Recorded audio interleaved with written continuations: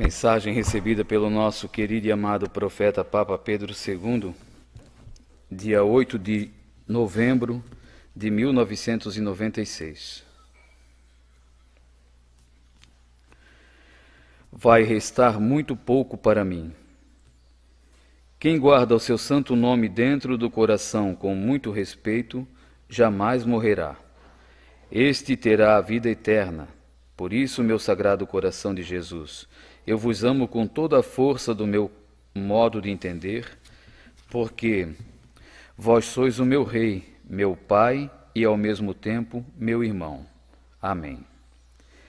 Na estrela da tua vida cresce cada vez mais o seu brilho. Não há quem possa mais tirar este mistério que cabe a ti, meu filho. O patrão, quando gosta de um operário, este passa a ser uma pessoa da família mesmo que às vezes, dentro da família, tenham aqueles que não fazem nem a metade do que este servidor vem fazendo, enfrentando todas as barreiras para agradar o seu mestre, incluindo todos os que são seus, como é o teu caso, meu filho. Aqui ninguém me decepciona. Todos me respeitam como nos tempos que os filhos não iam dormir sem pedir a bênção aos seus pais. Isto quer dizer amor, muito amor e respeito. Bento, meu filho, um povo educado é como o alicerce que segura o prédio. Nele está toda a resistência. Já os que nada disso fazem podem cair a qualquer momento pela falta de amor e respeito. São pessoas que são, são pessoas que não conseguem enxergar nada da verdade que sou eu. Quem for encontrado neste mundo sem ter uma fé viva dentro do seu coração, é bem provável que não seja chamado. O julgamento ainda não veio, mas estou vendo que vai restar muito pouco para mim. Meu Jesus amado, como se dará se está escrito: Dois na cama levarei um e deixarei o outro, também no campo e na moenda, como dizem as Escrituras? Boa pergunta, meu filho. Agora fizeste uma pergunta que muitos nunca entenderam esta passagem. Ao olhar nos que estavam ao meu redor, quando saía pregar a boa nova, eu via na minha frente que muitos só eram unidos para não ficarem sozinhos, mas que alguns deles não concordavam em aceitar o que passei a Pedro, com a inveja que tinham dele por ser um homem simples então só faziam o que os sacerdotes mandavam, e não o que eu ensinei. Então foi para esses que falei: dois na cama, um levarei e o outro não. Como pode se o marido aceita as normas da Igreja Católica e a mulher vai para outra denominação? Isto não é amor, é só representação. Da mesma forma pode ser a mulher, que é católica, e o marido um espírita. Esta é a razão. O batismo, para começar, tem que ser pela Igreja Católica, que é a de Pedro e que é a minha que passei a ele. Outro batismo não recebe as mesmas palavras que a minha igreja passa. Quem está sendo batizado em meu nome recebe a água, o santo óleo e o sal. Este batismo é completo para a vinda do Espírito Santo sobre esta criança, pois ela, se vier a morrer, já me pertence. Mas se deixar para quando for adulto, e neste meio tempo vier a morrer, não terá a mesma regalia de ser chamado meu filho, e a culpa cairá sobre os pais. Jesus querido, como pode conhecer, como se pode conhecer quem tem a marca da besta se não é visível? É sim, meu filho. Todo aquele que julgou o seu irmão, por ele ser um católico perseverante, por tudo que ensinei, este que julga já é um. Chama-se Anticristo, que quer dizer, julgou antes de mim. Ele ou ela, porém, irá me dizer: Em teu nome expulsei muitos espíritos maus do corpo de outras pessoas. Então eu direi: Um rei não pode falar mal de si mesmo. Não se pode agradar a um e ao outro. Eu só tenho um caminho e uma chave, que passei a Pedro. A do outro tem vários caminhos. É só procurar que irás encontrar. Todos brigam por causa do meu nome. Esses são os falsos que viriam no fim do mundo. É o rei da mentira que inventa para cada uma dessas denominações, que é dele a igreja verdadeira. Hipócritas, a divisão é coisa do diabo. Ele é que gosta de confusão. O tempo para cada um desses é bem curto, para não confundir mais os que são meus. Vejo muitos saindo da Igreja Católica à procura de se salvar. É aí que vai se perder, como está escrito. Meu Jesus, e quem está dentro da Igreja Católica e não faz como está escrito, e ainda odeia a gente? Esses são aqueles que voltaram a se enlamear novamente e que comem o seu próprio vômito. Os que me, segui, os que me seguiram no caminho da cruz para o Calvário eram muitos que me aceitaram como seu rei. Depois que me viram morto na cruz, não acreditaram mais em mim. Assim são esses, como hoje em dia está acontecendo, que fugiram da Igreja Católica para não dar confiança aos sacramentos que nela tem, onde as outras são só representações. Ninguém precisa se confessar, pode ser casado ou não. Pagando o dízimo, já é filho de Deus, dizem eles. Sacramento, isto é errado, como a Igreja Católica faz. Ah, gente cega e mal agradecida. Não entenderam nada do que eu falei. Se até um copo de água que deres a um desses pequeninos em meu nome, foi a mim que fizeste. Quanto mais a santa hóstia, depois de consagrada, que ali está o meu corpo vivo meu corpo santo e vivo, para alimentar a alma das pessoas. É por isso que vai acontecer, na hora da chamada, pouquíssimos serão escolhidos. Obrigado, meu filho. O que o homem faz ou deixa de fazer não cabe a ninguém julgar, mas a mim, sim. Jesus. Mensagem grande, né? Grande e bem explicativa.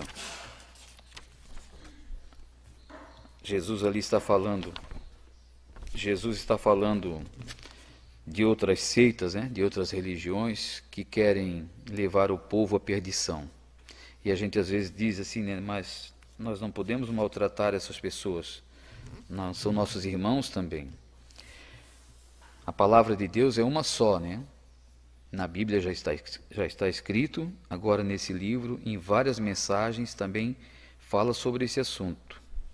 Então, olha o que fala essa mensagem que é do dia 3 do 11 de 96, lá na metade da mensagem. O, o título é Em ti está a minha permissão de falar em meu nome. E lá na metade da mensagem fala: A visita em tua casa, meu filho, quando for para falar neste assunto, se não é a igreja de Pedro, a que passei a ele, manda embora. Não se pode dar ouvido a esses enganadores que não têm mais paz. São macacos que vivem pulando de galho em galho, à procura de alimento para o seu corpo. Não é a vida que vale mais do que tudo? Quem deu a vida a Lázaro devolveu o seu corpo intacto, porque vi nele que era uma pessoa que merecia mas são poucos que terão o que merece. Quem se distancia de seu irmão para ir para outro lado não faz nada do que pedir. O enriquecimento de uma alma está na fidelidade, servindo o seu Criador e não a um falso pastor. Então, tem quantas pessoas né, que abandonam, às vezes, a família inteira, largam uma família toda para seguir uma outra seita. Diz que ali então encontrou a verdade. E olha o que Jesus diz aqui, ó, manda embora. Quando vier na tua porta bater, já pergunta, a primeira coisa que vocês devem perguntar, e a mãe de Deus vocês aceitam? Por ali já bota eles para correr. Porque nenhum aceita mais a mãe de Deus. Manda embora. Então não é falta de caridade, né? não precisa maltratar, né? não precisa ser grosso. Só diz, ó, segue então o teu caminho, já escolhesse. Ou então primeiro vai te reconciliar com o teu irmão, depois vem me trazer a palavra de Deus. Então é Jesus que está falando aqui de novo. Quem se distancia do seu irmão para ir para o outro lado não faz nada do que pedir. O enriquecimento de uma alma está na fidelidade. Tem que ser fiel a Deus. A palavra dele é uma só, não é duas. E ele diz: a minha igreja é uma só e não duas, né?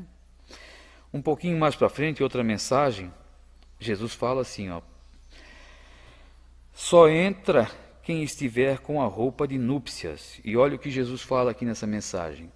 Bento, filho querido, em ti está a minha segurança, mas precisa que alguns dos teus guardem suas vestes.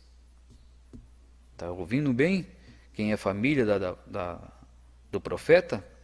Bento, filho querido, em ti está a minha segurança, mas precisa que alguns dos teus guardem suas vestes. Não andem sem elas. Cubram bem o seu corpo. Amem-me, como vem me amando, mas façam com que nada venha a prejudicar a si próprios.